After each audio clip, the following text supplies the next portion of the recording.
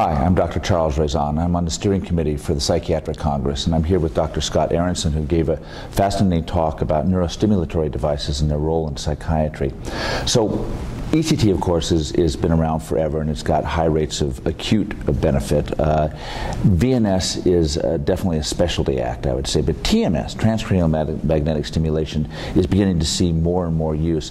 Talk to me a little bit about its rates of effectiveness, both you know, and compared to other modalities that we use. Well, I, I can discuss it from the standpoint I've had uh, have had a very busy practice in TMS at uh, at Sheppard Pratt in Baltimore, and we've yeah. treated about 160 folks. Okay. So first, let me tell you who the patient population is. So we're looking at folks who generally have failed two to six treatments in the current episode, uh, and and have had pretty treatment-resistant depression. Yeah.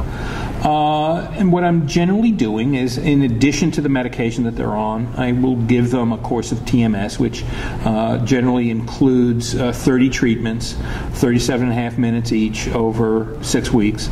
And my response rates for this fairly ill population is about a 60% response rate, about a 30% remission rate, which when you compare with a similar population, let's say in the STAR-D trial, uh, which was a uh, uh, NIMH-funded trial looking at folks with difficult to treat depression, by the time you had failed two treatments, your response rates were mm-hmm. below 20%. Yeah. And here we're looking at response rates that may be two to three times as high, and as well having a significant remission rate.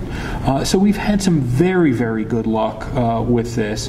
And the other thing that's beginning to happen is I think that the insurance companies are beginning uh, to respond. So uh, I practice in Maryland, and uh, and at this point, uh, a couple of the larger insurers, as well as Medicare, has coverage policies for TMS. So we're likely to see uh, continued uh, uh, uh, acceptance of this as, a, as an alternative treatment. Yeah, uh, fascinating. Well, thank you for joining us today. Uh, it again, this is something that's really, I think, one of the cutting edges of psychiatry, and we really appreciate you taking the time to talk with us. Thanks.